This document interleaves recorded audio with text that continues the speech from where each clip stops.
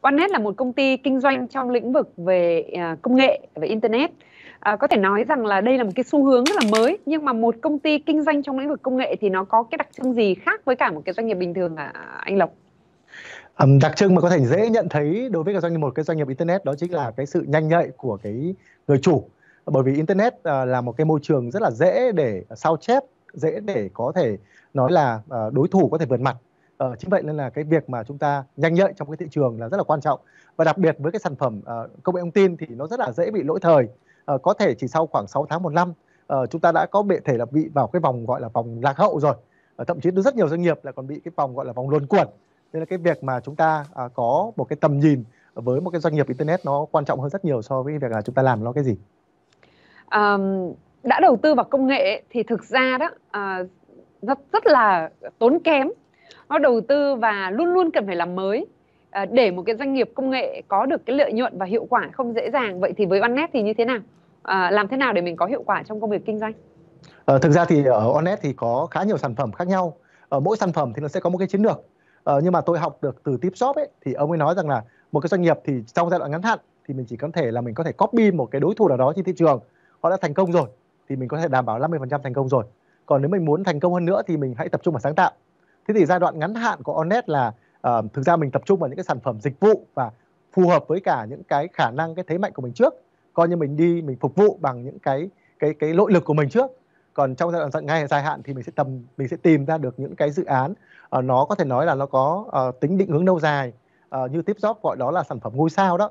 Thì những cái sản phẩm như vậy thì nó mới có thể giúp cho chúng ta có thể thành công với một cái doanh nghiệp như internet. Ừ. À, nói về sản phẩm ngôi sao thì bây giờ OneNet đang có sản phẩm ngôi sao nào, những sản phẩm nào là sản phẩm mà khiến cho Lộc cảm thấy tự hào? À, hiện tại thì OneNet đang triển khai một cái sản phẩm có tên là Skyline. À, đây là một cái dự án tức là live stream uh, trên các nền tảng mạng xã hội và nó tích hợp với thương mại điện tử. Thì uh, trong quá trình nghiên cứu và sản xuất trong khoảng 3 năm qua thì OneNet cùng với đối tác của mình đã sản xuất ra phần mềm này và đến bây giờ thì đây là một sản phẩm mà Onet cũng rất là tự hào bởi vì là ở trên thế giới uh, cũng chưa có một cái nhà cung ứng nào hay là một cái đối tác nào hay là một cái lập trình viên nào họ làm được như sản phẩm này thì đây là một cái sản phẩm mà uh, khi mà ra thị trường thì cũng có rất nhiều người mong đợi và họ muốn ứng dụng cái sản phẩm này trong công việc kinh doanh của họ. À, à, như vậy thì có thể nói rằng là Skyline là một cái à, sản phẩm có thể phù hợp trong cái giai đoạn chuyển đổi số, đặc biệt là giúp những người dùng à, muốn kinh doanh qua online như là livestream sẽ cảm thấy dễ dàng và thuận lợi hơn. À, à, nếu như trong trường hợp mà um, Skyline là một cái sản phẩm mà khiến cho người ta mong muốn livestream thì cái hoạt động đào tạo để khiến cho người ta có thể tự tin đứng trước ống kính cũng rất là quan trọng. Vậy thì um, cũng được biết là OneNet cũng đang tiến hành các cái hoạt động liên quan đến lĩnh vực đào tạo. À, anh có thể chia sẻ rõ nét hơn về vấn đề này. Ờ, uh, livestream bây giờ thì được coi là một nghề. À, và ở Trung Quốc thì uh, có khá nhiều các doanh nghiệp đang tập trung vào cái việc làm ờ, uh, livestream đào tạo cho mọi người. Thì thực ra là Việt Nam chúng ta đang đi bắt nhịp khá nhanh so với cả những cái xu hướng livestream của Trung Quốc và gần đây thì ở Việt Nam cũng có rất nhiều các doanh nghiệp họ uh, có thể nói là họ uh, theo cái xu hướng này. Uh, Onet cũng không phải là một doanh nghiệp ngoại lệ. Onet đã bắt nhịp với cái việc livestream uh, của những cái ngôi sao thành công. Thế thì Onet cũng đã lên các chương trình đào tạo uh, và Onet có mời một số những đối tác đồng hành. Uh, giống như là họ là những cái đối tác cung cấp những cái giải pháp có những người thì họ uh, cung ứng những cái uh, nền tảng cho Onet để có thể thực hiện được. Thế thì ở Onet thì những cái khóa học livestream thì nó không phải là chỉ Onet triển khai mà Onet triển khai cùng với đối tác. Bởi vì bản chất cái thị trường livestream nó là thị trường rất là rộng và rất nhiều người cần cái cái cái cái công cụ này cái giải pháp này cái tư duy đào tạo này. Thế cho nên là một mình thì ờ, không thể làm những câu chuyện lớn được. Uh, chính vậy nên là Onet thì cũng đã đồng hành với một số đối tác. Đặc biệt là uh, trong thời gian tới đây thì cũng sẽ uh, xin phép chị Hương là được đồng hành với mình để mình có thể tạo ra được những cái chương trình hữu ích cho mọi người để có thể cùng nhau học hỏi. Vâng, thưa quý vị và các bạn có thể nói rằng là livestream đang trở thành một cái uh, cứu cánh cho rất nhiều các doanh nghiệp khi mà tình hình dịch bệnh diễn biến rất là phức tạp và các cửa hàng thì phải đóng cửa. Vậy thì đâu là cái phương pháp để chúng ta có thể kết nối với khách hàng của mình, uh, giới thiệu với khách hàng những sản phẩm dịch vụ thì livestream nó đang là một cái xu hướng và um, có thể nói rằng là OneNet với Skyline đang là một cái giải pháp rất là hữu hiệu để cho các doanh nghiệp có thể um, tiến hành livestream một cách chuyên nghiệp và các cá nhân cũng có thể trở thành những người khởi nghiệp hiệu quả trên nền tảng số.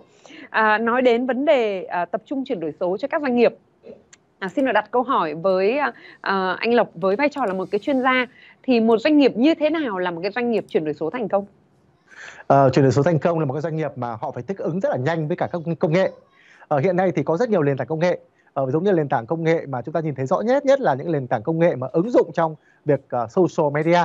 Thì đấy là những doanh nghiệp hiện nay họ dùng khá nhiều, giống như là họ tạo ra kênh YouTube riêng, giống như họ tạo ra uh, kênh Facebook riêng, giống như họ có thể ứng dụng Zalo các kiểu. Và cái thứ hai là họ uh, ứng dụng trên nền tảng thương mại điện tử. Đó thì có rất nhiều người bây giờ là cũng ứng dụng rất nhiều rất tốt trong việc làm thương mại điện tử và họ cũng tạo ra được những cái dấu ấn trong cái việc là uh, tạo ra một cái thị phần rất lớn từ việc bán hàng vì ở Việt Nam dẫu sao thương mại điện tử cũng là một cái nơi rất là tuyệt vời. Cái thứ ba một cái đặc trưng thứ ba của các doanh nghiệp mà chuyển đổi số đó là họ ứng dụng cái hệ thống quản trị rất là tốt. Uh, chúng ta có thể nhìn thấy là họ có thể tạo ra các hoạt động bán hàng và họ có những cái hệ thống quản trị uh, trong cái việc quản trị nhân sự quản lý KPI toàn bộ trên phần mềm. Còn cái điểm nữa mà có thể nhìn thấy những doanh nghiệp chuyển đổi số mà thành công ấy nó ứng dụng ờ, những cái phần mềm tương tác những cái ứng dụng mà có gọi là cao cấp hơn giống như là cái trường quay ngày hôm nay mà tôi cùng với cả bên tập đoàn Lam Hương uh, phong có, có một cái doanh nhân làm thì đây là một trong những mô hình chuyển đổi số rất là thành công. Thay vì mà tôi bay phải bay vào Sài Gòn gọi là làm cái talk show này thì chúng tôi đang có mặt tại trong một cái trường quay rất là đặc biệt uh, có ba điểm cầu. Một uh, bộ phận xử lý kỹ thuật của chúng tôi đang ở một điểm cầu khác uh, tức là cũng ở thành phố Hồ Chí Minh. Và một uh, tôi thì ở Hà Nội còn uh, tập đoàn Lam Hương cụ thể là chị Hương đang ở điểm cầu ở thành phố Hồ Chí Minh. Chính vậy cho nên đây là một cái chuyển đổi số mà tôi nghĩ là rõ nét nhất để mọi người có thể nhìn thấy là hoạt động kinh doanh bây giờ phụ thuộc rất nhiều vào cái công cực chuyển đổi số. Vâng, à, có thể nói rằng là quý vị đang xem một chương trình truyền hình hết sức đặc biệt, một talk show được phỏng vấn bởi hai đầu cầu. Hương thì đang ở thành phố Hồ Chí Minh, còn anh Lộc thì đang ở Hà Nội và một cái team không có mặt tại trường quay đang điều hành toàn bộ à, talk show này. Và đây chính là một trong những cái điều mà khiến cho các cái doanh nghiệp à, cũng có thể ứng dụng trong cái việc mà chuyển đổi số và hương nghĩ đây là một trong những cái um, cái công nghệ mà những người làm cái công tác truyền hình cũng sẽ rất là quan tâm để có thể làm sao mà tiết kiệm chi phí cho những cái khách mời hoặc là những cái chương trình sản xuất của mình. À, thưa quý vị và các bạn, chúng ta đang theo dõi chương trình Phong cách doanh nhân TV và à, Hưng xin được mời quý vị sẽ đến với phần chia sẻ của câu chuyện thương hiệu. Nói về câu chuyện thương hiệu cá nhân, à, có thể nói rằng là um, anh Lộc cũng là một cái người có một cái tầm nhìn và một cái sự quan tâm đặc biệt về vấn đề câu chuyện thương hiệu cá nhân.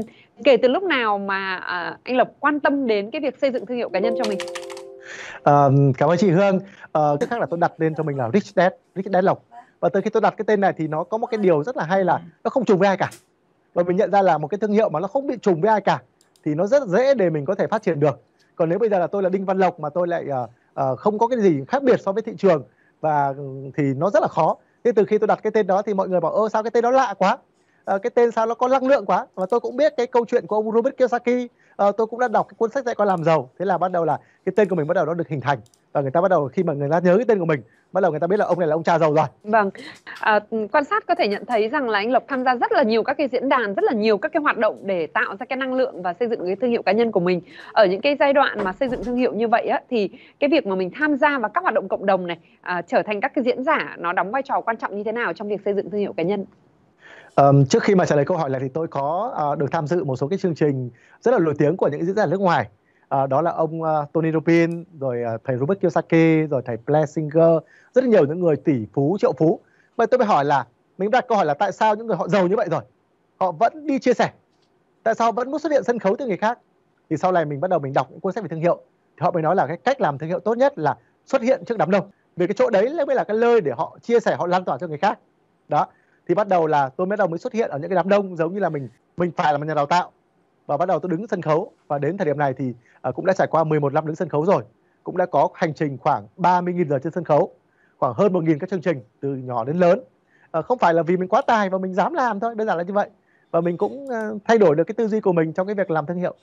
Vâng, à, thưa quý vị và các bạn có thể nói rằng là thương hiệu cá nhân là một cái à, phần vô cùng quan trọng trong cái sự phát triển của một doanh nghiệp và khi một người có thương hiệu cá nhân thì à, khi chúng ta ra một cái sản phẩm mới thì nó đem đến cái à, sự um, hiệu quả cũng như là tiết kiệm về ngân sách marketing rất nhiều khi mà chúng ta ra sản phẩm mới.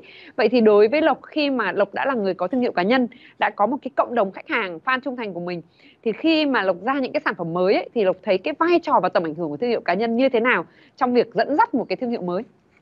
À, người ta nói rằng là à, sản phẩm thì có thể lỗi thời, à, doanh nghiệp thì có thể chết, thậm chí là sản phẩm cũng có thể biến mất khỏi thị trường.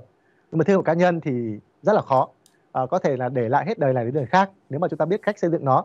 Thế thì um, thực ra cái ảnh hưởng thương hiệu, thương hiệu cá nhân này nó rất là quan trọng, nó không phụ thuộc vào doanh nghiệp. À, khi mà một cái người mà có ảnh thì hoàn toàn có thể rất rất thị trường và tôi nhận ra là cái việc mà mỗi lần mình ra mắt sản phẩm mới thì gần như là người ta không phải mua sản phẩm của mình người ta mua cái cái nhân hiệu của mình. Đó giống như là người ta biết mình trước đây rồi. Người ta thấy là mình đã có một cái ảnh hưởng trong lĩnh vực này rồi. Đặc biệt là khi trong thời gian gần đây thì tôi làm rất nhiều sản phẩm công nghệ. Mọi người cũng biết là tôi đã có những dự án thành công và cũng có rất là thất bại. Đương nhiên là đó là chuyện bình thường. Nhưng người ta nhìn thấy là mình dám làm. Và mình quyết tâm mỗi một dự án thì mình lại có sự thay đổi rất là nhiều uh, trong cái việc là mình điều hành và mình thay đổi cái mô hình kinh doanh. Và mọi người thấy là cái năng lượng tích cực từ đó và mọi người quyết định tham gia với tôi bởi vì là họ thấy được là mình có một cái gì đấy nó nó ở trong cái cái trái tim của họ họ biết là ông này có thể làm được đó thế là họ đến với mình thôi ạ à như vậy có thể thấy rằng là một trong những điều khác biệt lớn nhất mà OneNet có đó chính là có uh, Rick Deslop đúng không ạ? uh, bởi vì là có cái người chủ có thương hiệu và luôn luôn sáng tạo đổi mới. À, trên thị trường hiện nay thì có rất nhiều các cái doanh nghiệp cũng làm trong lĩnh vực về công nghệ, à, nhà nhà làm công nghệ, người người đầu tư vào công nghệ. Vậy thì đâu là cái yếu tố khác biệt tạo ra được cái giá trị, um, uh, sự khác biệt này, uh, yếu tố thương hiệu này cũng như cái cái cái cái, cái thị trường ngách mà uh, OneNet hướng tới? Um, thực tế thì làm công nghệ như chị biết đấy thì nó là một cái uh, rất là nhiều cái thử thách khác nhau. Uh, tôi dân công nghệ thường nói là một là thành công rất là nhanh, hai là thất bại cũng rất là nhanh. Thế thì tôi nhận ra là thực ra làm công nghệ hay làm kinh doanh nói chung thì nó cần phải có một cái chuỗi giá trị. Đó. à, mình không thể là uh, chỉ có công nghệ không, mà mình cần phải có mô hình kinh doanh, mình cần phải có đội nhóm và mình cũng cần phải quan hệ với cả các đối tác, các nhà đầu tư. Thế thì khi mình có cái thương hiệu cá nhân rồi ấy, thì mình rất là dễ để mình có thể quan hệ với nhà đầu tư uh, giống như là mình đã có một cái danh tiếng rồi đó cơ bản là như vậy thế còn lại thì uh, nó phụ thuộc rất nhiều vào cái mô hình kinh doanh của mình uh, mô hình kinh doanh của mình nó quyết định thành công tới ít nhất là khoảng tầm 50 đến 80 phần trăm cho một cái dự án. Thế thì mô hình kinh doanh của mình nó có đủ thuyết phục người ta hay không? Bởi cái tầm nhìn của mình bởi cái đội ngũ kinh doanh của mình. À, tôi có xem sắc thanh rất là nhiều thì ông ờ, đặc biệt tôi rất là thích uh, sắc hưng hoặc là sắc phú. Uh, sắc phú nói là uh, có ba cái lý do mà các nhà đầu tư chọn lựa một cái startup. Một là sản phẩm rất là khác biệt. Đó hai là doanh nghiệp tức là phải có một cái người nào đó đủ tin tưởng đủ gọi là là gọi là, là gọi là có một cái năng lực đấy. Đó gọi là tầm nhìn của người lãnh đạo đấy. Ba là đội nhóm. Đó nếu là mình không có hai cái kia thì mình phải có một cái đội nhóm tốt. Thế thì hiện nay thì tôi cũng cảm thấy là mình uh, bắt đầu mình có những cái điều đó rồi. Thì mình cũng cảm thấy là uh, bắt đầu từ cái thương hiệu của mình uh, mình xây dựng nhiều năm thì nó cũng bắt đầu là dẫn dắt được thị trường và cũng bắt đầu là là tuyển được một số cái đội nhóm chất lượng để làm việc với mình. Ừ. À, và có lẽ đó chính là lý do tại sao mà um, anh quyết định uh, tham gia vào việc um, phát triển một cái cộng đồng à, doanh nhân. Dường như việc xây dựng một cái cộng đồng một cái hệ sinh thái bao gồm những cái doanh nghiệp và cả những nhà đầu tư và cả những khách hàng tiềm năng đang trở thành một trong những cái điều mà anh quan tâm vào lúc này. Và uh, liệu đó có phải là lý do mà anh quyết định phát triển mạng lưới phong cách doanh nhân Bisin Galaxy không ạ? À, chị uh, Hương thân mến thì đây là một cái câu hỏi mà à, thực ra cũng muốn trả lời chị ngay. À, trước khi nói điều này với khán giả thì à, tôi cũng phải nói với tất cả khán giả một chút là à, trước khi mà tôi học thầy Robert Kiyosaki ấy, thì tôi đọc cái cuốn sách của thầy ấy. Thầy nói rằng là uh, người giàu thì luôn đi tìm mạng lưới. Và tại sao mà người giàu thì họ không có tập trung quá nhiều vào chuyên môn? Họ luôn đi tìm những cái mạng lưới mà uh, đuổi họ đó để họ có thể giúp đỡ những doanh nhân khác những cái con người khác. Và tôi nhận ra là cái việc mà mình uh, tham gia vào một cái mạng lưới và cái việc mà mình có sở hữu một cái mạng lưới hoàn toàn khác nhau. Uh, khi mà mình làm chủ thì mình tham gia thì đương nhiên là chỉ giúp cho mình gọi là tăng được cái trải nghiệm thôi. Nhưng khi mình làm chủ một cái mạng lưới uh, với góc độ là mình là một doanh nhân thì cái hình ảnh của mình nó khác hơn rất là nhiều đó là lý do tại sao mà tôi quyết định trong thời gian vừa qua uh, quyết định uh, tham gia vào uh, mạng lưới Bisin và mở ra một cái uh, uh, gọi là một cái câu lạc bộ Galaxy. Ở đó là một cái nơi để có thể lan tỏa giá trị uh, bản thân mình uh, tới cộng đồng đặc biệt là một cái nơi để có thể uh, cùng chia sẻ lan tỏa những cái của các doanh nhân khác nữa. Và đây là một cái uh, có lẽ là một cái quyết định rất là tuyệt vời trong thời điểm covid này. Vâng và à, đâu là những cái giá trị mà anh mong muốn hướng tới cho các thành viên khi vào họ tham gia lưới Bisin Galaxy ạ? À, cái tên của Galaxy có nghĩa là à, một cái à, gì nó rất là lớn lao, ngân hà à, và đây là một cái điều mà chúng tôi mong muốn là có thể hỗ trợ à, cho doanh nhân để có thể vượt qua được cái tầm nhìn của Việt Nam để có thể sử dụng công nghệ tốt hơn và chúng tôi cũng có những cái hoạt động gọi là đến thăm doanh nghiệp à, có những hoạt động để cốt trinh hỗ trợ cho các doanh nghiệp đang đang khó khăn để giúp cho họ có thể uh, vượt qua cái, uh, cái đại dịch này để trở thành một cái uh, doanh nghiệp để có thể sánh tầm hơn với cái sự phát triển của họ. Vâng, à, thưa quý vị và các bạn có thể nói rằng là nếu như muốn à, xây dựng được một thương hiệu cá nhân thì cái mạng lưới chúng ta tham gia nó hết sức quan trọng. Nó cũng đóng góp vào cái việc mà tạo dựng ra uy tín và tên tuổi à, của à, bản thân chúng ta à, khi mà chúng ta có cơ hội được gần với những người à, có thương hiệu cá nhân. Và đối với um, uh, Bisin Galaxy ấy, thì những cái doanh nghiệp những cái doanh nhân như thế nào sẽ là những cái thành viên mà anh hướng tới ạ? Ờ, đầu tiên là phải nói đến uh, cái giá trị cốt lõi của doanh nhân là những người đó phải có cái uh, tố chất về về sự phụng sự đã. Bởi vì không có phụng sự thì không thể làm một doanh nhân tốt được. Uh, phụng sự nó mới có thể giúp cho họ hoàn thiện hơn phụng sự mới có thể giúp cho họ uh, tốt hơn trong cái cuộc sống này. Uh, thứ hai là họ phải ham học hỏi. Uh, nếu mà doanh nhân mà không có học hỏi thì uh, doanh nhân đấy giống như kiểu mình tự vỗ ngực vào mình ấy. Đó là cái gì mình cũng biết ấy thì những doanh nhân những doanh nhân đấy sẽ rất là khó để có thể uh, phát triển được trong cái cộng đồng này và cái yếu tố thứ ba là một cái doanh nghiệp đấy họ phải có đội ngũ. Uh, vì bản chất một cái doanh nghiệp nếu mà chỉ đơn giản là uh, họ làm việc mình thì giống như là theo cái kim tứ đồ của Robert Kiyosaki ấy thì giống chỉ để đi làm thuê thôi cho chính mình thôi. Những cái người như vậy thì họ rất là vất vả và họ cũng không thoát ra được. Và chúng tôi coi trọng những doanh nghiệp có đội ngũ nghĩa là từ đó thì doanh nhân đấy thì họ mới thoát ra được họ mới đi sinh hoạt với chúng tôi được. Còn nếu mà họ chỉ ở trong cái vòng luồn quẩn là đi uh, kiếm tiền đi tạo ra công việc kinh doanh cho chính bản thân họ thì tôi nghĩ là đấy không phải là cái yếu tố mà để chúng tôi quyết định uh, yếu tố thứ tư là họ phải coi trọng cái sự phát triển uh, của doanh nghiệp. Nghĩa là họ coi kinh doanh là cuộc sống họ coi kinh doanh là một cái đam mê họ coi kinh doanh là một cái cơ hội để giúp đỡ người khác thì tôi nghĩ là đấy mới là những tiêu chí để chúng tôi họ tham gia cuộc chơi này. À, cái việc mà bây giờ bạn chưa có nhiều tiền cái việc mà doanh nghiệp chưa thành công hay doanh nghiệp nhiều tiền không quá quyết định bởi vì là ngày hôm nay có thể là bạn ở là một cái doanh nghiệp rất là nhỏ nhưng ngày mai nhờ cái việc chuyển đổi số bạn có thể thành công hơn rất nhiều doanh nghiệp ngoài kia thì cái điều đó không có quyết định mà quan trọng nhất là cái giá trị uh, cái tinh thần và cái động lực để họ đi như thế nào với cái cái sự phát triển của họ. Và đặc biệt là chúng tôi coi trọng tất cả cái giá trị đấy. Um, anh là một cái người có nhiều mối quan hệ đặc biệt là có lại có kiến thức trong lĩnh vực liên quan đến công nghệ. Vậy thì những cái dự án như thế nào về công nghệ sẽ là cái dự án khiến cho anh cảm thấy hấp dẫn để đầu tư? Nếu anh là ờ, một nhà đầu tư. Ờ, nếu là tôi là nhà đầu tư thì tố yếu tố đầu tiên nó là yếu tố nó phải có quy mô lớn có là sản phẩm đấy phải phục vụ cho nhiều người. À, yếu tố thứ hai là nó phải có nó phải có yếu tố thứ hai là có sự tham gia của nhiều cái đối tượng. Đó ở nhà đầu tư có thể tham gia được đối tác có thể tham gia được khách hàng có thể tham gia được và nhiều đối tượng khác có thể tham gia được. Yếu tố thứ ba nó chính là nó phải tạo ra cái giá trị gì đó cho cho một cái đối tượng nào đó thực sự cần thiết ngay cấp bách ngay. Đó thì ở um, uh, hiện nay ở Onet thì chúng tôi ngoài cái dự án mà uh, chúng tôi đang triển khai như là các dự án tiếng Anh này uh, chúng tôi chuẩn bị ra mắt một cái dự án nữa là dự án trường học không có giáo viên. Và uh, chúng tôi vừa mới ra mắt dự án Skyline là app livestream uh, ờ, trong thời gian tới là chúng tôi ra mắt thêm một cái sản phẩm nữa là Sky TV uh, phục vụ cho cái nhu cầu phát sóng trực tiếp lên đó để bán hàng. Và đặc biệt là chúng tôi trong tháng 9 này chúng tôi sẽ ra mắt thêm một dự án nữa là có tên là sao dẫn đường. Một cái dự án là dẫn đường cho các bạn trẻ khởi nghiệp uh, để uh, thành công hơn trong cái công việc kinh doanh.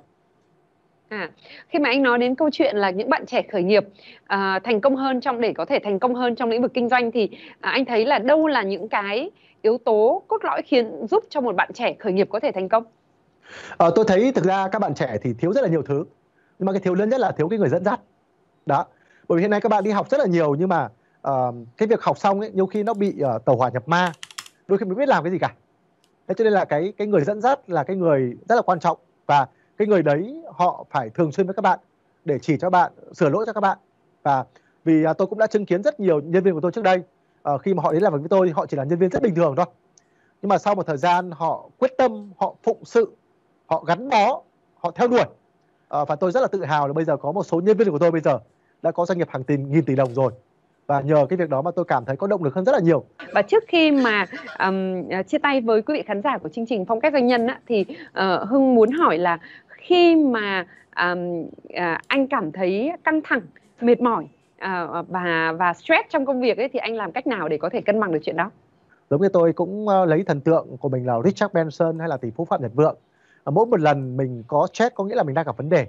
Và tôi nhận là khi gặp vấn đề có nghĩa là mình chưa đủ lớn mình chưa đủ tài giỏi mình chưa đủ gọi là để cho người ta cảm thấy là người ta ngưỡng mộ mình thế cái động lực lớn nhất của tôi lúc stress là mình phải làm việc và cứ lúc nào mà làm stress nhiều nhất là tôi ngồi máy tính nhiều nhất và tôi cảm giác như ngồi máy tính là giống như là mình cảm thấy mình được xua tan tất cả cái điều đấy. Và nó giải quyết cho mình những cái cái cái cái vấn đề. Và lúc đó thì tôi đọc những cái cuốn sách của những tỷ phú. Uh, tôi xem những video của những tỷ phú và nó cho mình động lực rất là nhiều. Sau khi mình uh, tái tạo năng lượng thì đúng là mình làm việc còn điên khùng hơn rất là nhiều lần. Vâng và à, để có thể nói một lời nào đó với những bạn đang muốn khởi nghiệp trong lĩnh vực về công nghệ thông tin thì anh sẽ à, chia sẻ với các bạn ấy điều gì? Ờ, khởi nghiệp là dám làm. Ờ, thực ra thì uh, tất cả doanh nhân ngày hôm nay họ đều dám làm hết và uh, có một cái người mà họ đã dạy tôi uh, phải nói là tôi học và tôi cảm thấy rất biết ơn. Uh, ông ấy nói là uh, sinh ra trong cuộc đời làm gì? Thì uh, sau rất nhiều những cái uh, sự phản hồi của rất nhiều khán giả trong trường trong trong hội trường thì ông ấy kết luận là một câu là uh, chúng ta sinh ra để uh, gọi là thể hiện và bạn hãy thể hiện cái tài năng của bạn hãy thể hiện cái khả năng của bạn thể hiện cái sự nhiệt huyết của bạn thể hiện cái tình yêu thương của bạn thể hiện đến cái hoài bão của bạn đến cái khát vọng của bạn.